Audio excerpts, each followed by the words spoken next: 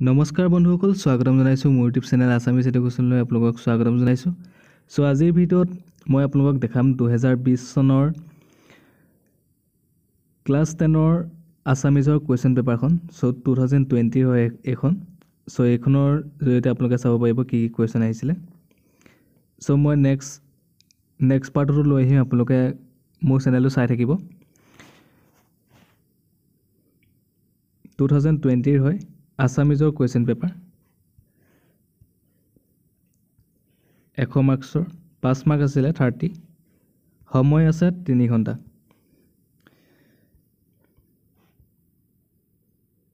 চ' এইকেইটা হৈছে এক নম্বৰ কুৱেশ্যন চ' আপোনালোকে ডেছক্ৰিপশ্যনৰ পৰা ডাউনলোড কৰি ল'ব পাৰিব। আৰু মই নেক্সট ভিডিঅ' দি থাকিম আপোনালোকে মোৰ চেনেলটো চাই থাকিব। মই টু থাউজেণ্ড টুৱেণ্টিৰ পৰা টু থাউজেণ্ড থাৰ্টিনলৈকে যিমান কুৱেশ্যন পেপাৰ আছে চ' গোটেইখিনি শ্বেয়াৰ কৰিম আপোনালোকে চাব। আৰু যদি ভাল পায় ভিডিঅ'টো চাই লাইক কৰিব কমেণ্ট কৰিব শ্বেয়াৰ কৰিব। আৰু চেনেলটো ছাবস্ক্ৰাইব কৰিব নাপাহৰিব।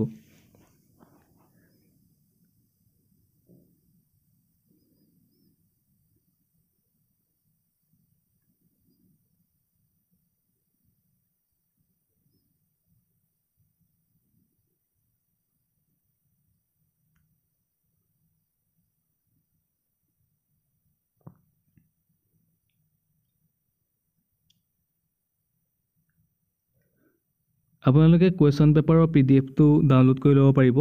ডেছক্ৰিপশ্যনত গৈ আপোনালোকে চেক কৰিব। আৰু আপোনালোকে যদি টেলিগ্ৰাম গ্ৰুপত জইন হ'ব বিচাৰে তাতো জইন হ'ব পাৰিব। আৰু মোৰ ছেকেণ্ড চেনেলটো আপোনালোকে যদি চাই ভাল পায় তেতিয়াহ'লে ছাবস্ক্ৰাইব ছাবস্ক্ৰাইব কৰি দিব। ডেছক্ৰিপশ্যন ডেছক্ৰিপশ্যনত মই দি থোৱা আছে।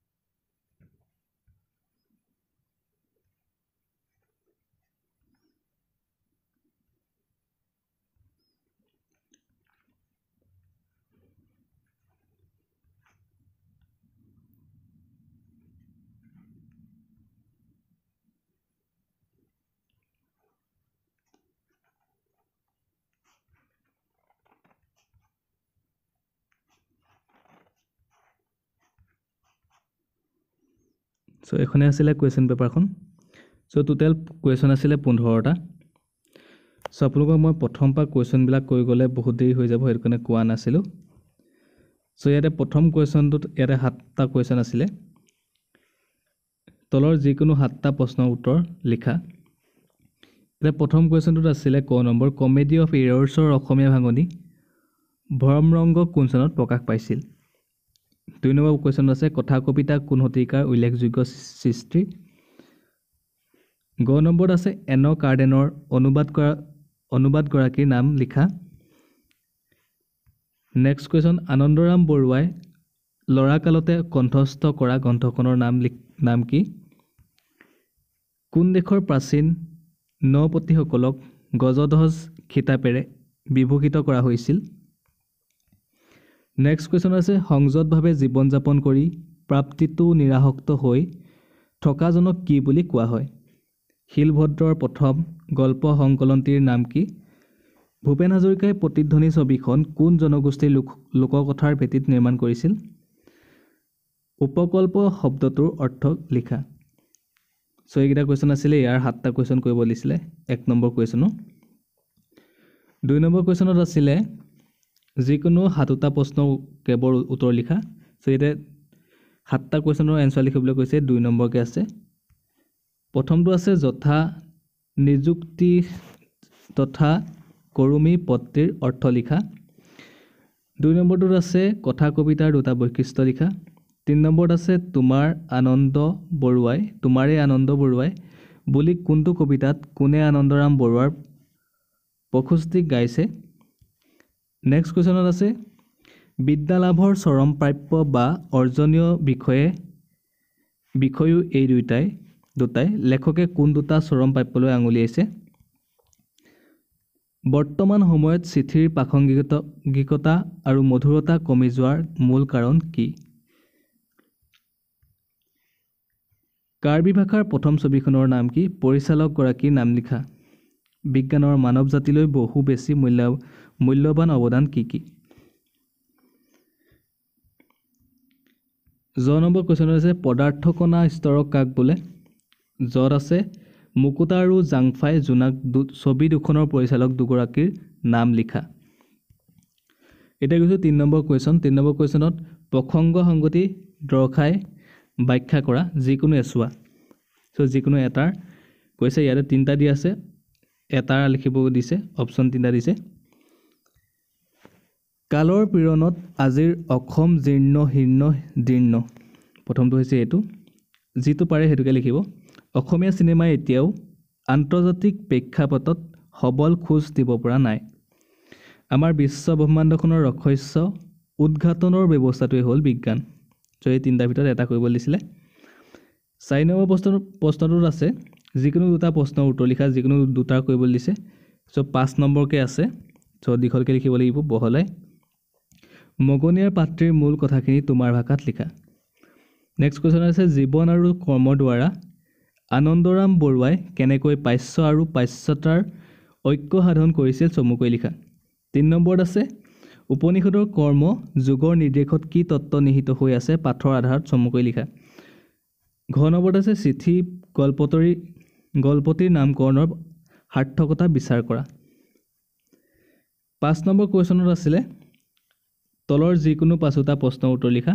ইয়াতে এক নম্বৰকৈ আছে পাঁচটা কুৱেশ্যন মাধৱদেৱে ৰামায়ণৰ কোনটো কাণ্ড ভাঙনি কৰিছিল? তোমাৰ পাত্ৰীৰ অন্তৰ্গত কোনগৰাকী কবি জোনাকী কাকতৰ সৈতে জড়িত নাছিল? গ নম্বৰত আছে বিশ্ব দিশা শীৰ্ষক জীৱনীমূলক গ্ৰন্থখনৰ ৰচক কোন? ঘ নম্বৰত আছে জ্যোতিপ্ৰসাদ আগৰৱালাই ইন্দ্ৰমালতী কথাছবিখন কোন চনত নিৰ্মাণ কৰিছিল? কাঠমিস্ত্ৰীৰ ঘৰ কবিতাটি প্ৰথম ক'ত প্ৰকাশ হৈছিল?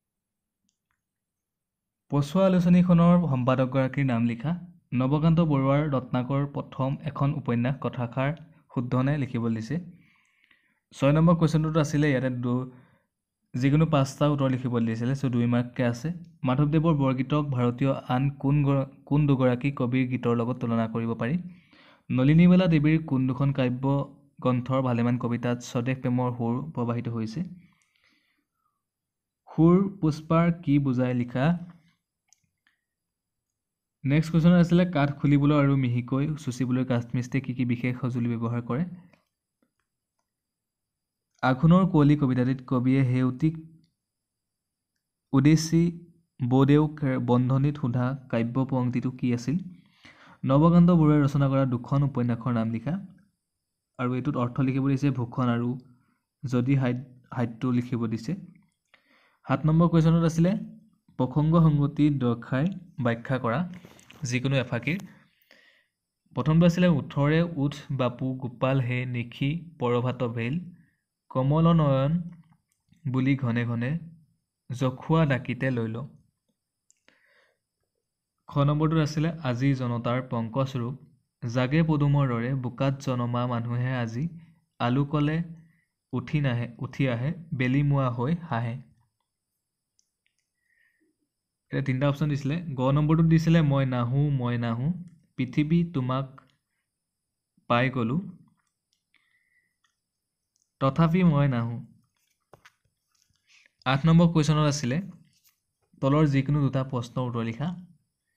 সত্য ৰজ আৰু তম গুণে মানৱ জীৱনলৈ কি কঢ়িয়াই আনে? ছেকেণ্ডত আছিলে লোৱা অধিকাৰ নিজ বাহুবলে। কবিয়ে সমাজৰ কোন কোন শ্ৰেণীৰ লোকক নিজে কৰা কৰ্ম অধিকাৰ ল'বলৈ আহ্বান জনাইছে। গত আছিলে বিশ্ব খনিকৰ কবিতাটিত কবিয়ে কুঁহি গজালি বুলি কোন তিনিজোপা গছৰ নাম বান্ধনিত উল্লেখ কৰিছে। নিৰ্মল প্ৰভা বৰদলৈ তিনিখন কবিতা পুথিৰ নাম লিখা। ন নম্বৰ কুৱেশ্যনত আছিলে নন্দনতান্ত্ৰিক মূল্যবোধৰ চাবিকাঠি কি? ইয়াতে এক নম্বৰকৈ আছিলে দুটা কুৱেশ্যন লিখিবলৈ দিছিলে। কৈশোৰ কালে কোন দুখন জগত সংযোগ কৰে? জীৱনৰ শান্তি পৰ্ব শীৰ্ষক প্ৰবন্ধটোৰ ৰচক কোন? প্ৰতিটি শব্দৰ অৰ্থ লিখা। দহ নম্বৰত আছিলে যিকোনো দুটাৰ উত্তৰ লিখা। ভাৰতীয় সংবিধানে ভাৰতবৰ্ষক কেনেধৰণৰ ৰাষ্ট্ৰ হিচাপে প্ৰতিষ্ঠা কৰিছে? সহজ অৰ্থত মূল্যবোধ মানে কি? এটা চাৰিটা অপশ্যন দিছিলে। মাধ্যমিক স্তৰৰ পাঠ্যক্ৰমত থকা চাৰিটা প্ৰাথমিক আৰু মৌলিক বিষয় কি কি? মানসিক শক্তি মানে কি? এঘাৰ নম্বৰ কুৱেশ্যনত আছিলে যিকোনো এটা প্ৰশ্নৰ উত্তৰ লিখিব দিছিলে। ভাৰতীয় দৰ্শনত মূল্যবোধ সম্পৰ্কে চমুকৈ লিখিব দিছে। যিকোনো এটা। কিশোৰ কিশোৰীৰ মনৰ আটাইতকৈ গুৰুত্বপূৰ্ণ বৈশিষ্ট্য হ'ল পৰিচিতৰ সংঘাত ব্যাখ্যা কৰা। বাৰ নম্বৰ কুৱেশ্যনত আছিলে চমুকৈ লিখা যিকোনো দুটাৰ বিভক্তিৰ সংজ্ঞা আৰু প্ৰকাৰ অসমীয়া শব্দ বিভক্তি প্ৰত্যয়ৰ সংজ্ঞা আৰু ইয়াৰ শ্ৰেণীবিভাগ তদ্ধিত প্ৰত্যয় সংজ্ঞা আৰু উদাহৰণ।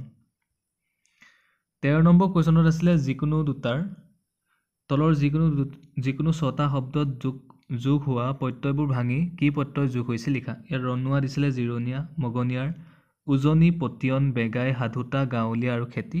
ছটা দিছিলে। চৈধ্য নম্বৰ কুৱেশ্যনত আছিলে তলত দিয়া জতুৱা ঠাঁচবোৰৰ অৰ্থ লিখি একোটাকৈ বাক্য ৰচনা কৰা যিকোনো চাৰিটাৰ। চ' দুই নম্বৰকৈ আছিলে আঠ নম্বৰ আছে টোটেল ঢৌতে খৰ মৰা আৰু কাণ বাগৰা গোৰ মাৰি গংগাত পেলোৱা শালৰ মাজত শিঙি চকুৰ মণি পেটে ভাতে খা নাদৰ ভেকুলী সোণৰ হেলেং হোলেং। পোন্ধৰ নম্বৰ কুৱেশ্যনত আছিলে তলৰ যিকোনো এটি বিষয় লৈ এখন ৰচনা লিখা। প্ৰথম ৰচনাখন আছিলে অসমৰ প্ৰাকৃতিক সম্পদ আৰু ইয়াৰ সংৰক্ষণ। ছেকেণ্ড আছিলে একবিংশ শতিকাত প্ৰকাশিত তুমি ভাল পোৱা এখন গ্ৰন্থ। তিনি নম্বৰত আছিলে পৰ্যটন আৰু অসম। চাৰি নম্বৰত আছিলে গোলকীয় উষ্ণতা বৃদ্ধি আৰু কাৰণ আৰু প্ৰতিকাৰ। এটা পাঁচটা অপশ্যন দিছিলে জৈৱ বিচি বৈচিত্ৰ আৰু সাম সাম্প্ৰতিক সময়। চ' এইকেইটা দিছিলে। চ' ধন্যবাদ। আজিৰ ভিডিঅ'ত ক্লাছ টেনৰ দুহেজাৰ বিছ চনৰ কুৱেশ্যন পেপাৰখন চালোঁ। আমি কি কি কুৱেশ্যন আহিছিলে। চ' তোমালোকে ক্লাছ টেনৰ ষ্টুডেণ্টবিলাকে এই কুৱেশ্যন পেপাৰখন তোমালোকে প্ৰেক্টিছ কৰি চাব পাৰা। চ' ইয়াৰ পৰাও বহুত কমন পৰিব। চ' ধন্যবাদ।